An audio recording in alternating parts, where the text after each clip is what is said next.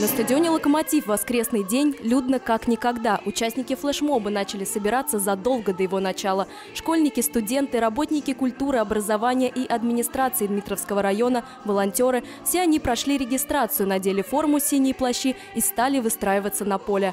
Акция «Россия – это я» объединила жителей шести подмосковных городов – Талдом, Дубна, Дмитров, Лобни, Химки и Долгопрудный. Одновременно каждый район выстраивал свою букву, чтобы в итоге все они сложились в огромное слово «Россия» в цветах триколора.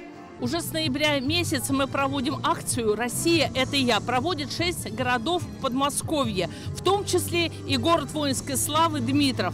И мы все наши мероприятия специально проводили такую политическую акцию подготовки э, к предстоящему мероприятию политическому «Россия – это я», чтобы каждый гражданин мог себя почувствовать действительно гражданином России.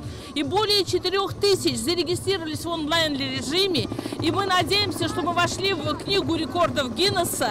И на сегодняшний день вы видите более 4 тысяч человек здесь на поле для того, чтобы выразить свою волю и сказать, что они граждане России. Во время акции над стадионом шум вертолета. Так участников приветствовал губернатор Московской области Андрей Воробьев. Город Дмитров выстроился в огромную букву «С» синего цвета, которая растянулась по периметру всего поля.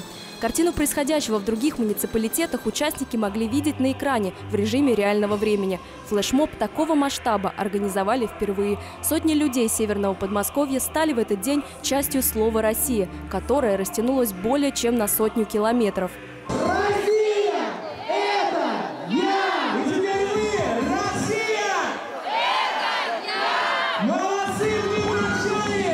Не остались в стороне и знаменитые российские спортсмены. Саночник Альберт Демченко и бобслеист Александр Зубков также приняли участие в масштабной акции и напомнили всем, что Россия сильна своим единством.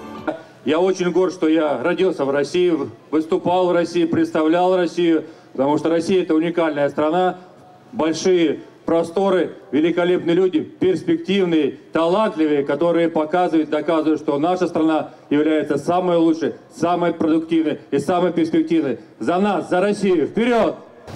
Очень рад здесь, на этой стой, на этой сцене, поприветствовать всех участников флешмоба, несмотря на такое хорошее утро, морозное, вы все здесь собрались, чтобы поддержать э, это событие.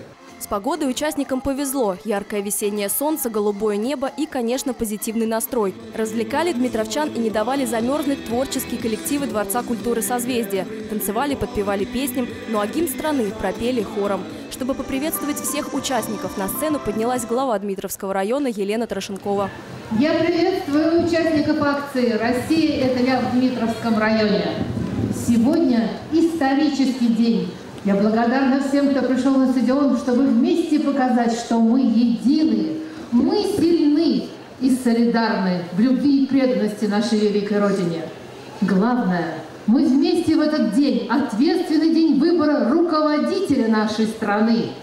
И сегодня мы также вместе отмечаем знаменательное событие – очередная годовщина возвращения в Крыма в состав Российской Федерации – мы вместе здесь и сейчас потому, что мы готовы к новым событиям и свершениям во имя России, во имя ее великой истории, во имя ее великого будущего, которое вершится в том числе и в этот день.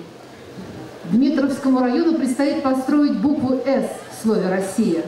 Мы гордимся тем, что в числе шести муниципалитетов Московской области участвуем в этой акции – мы гордимся тем, что являемся участниками рекорда, который будет занесен в Книгу рекордов Гиннесса. Мы единая команда Подмосковья. Изначально организаторы задумали, что число участников акции – это заявка на новый мировой рекорд.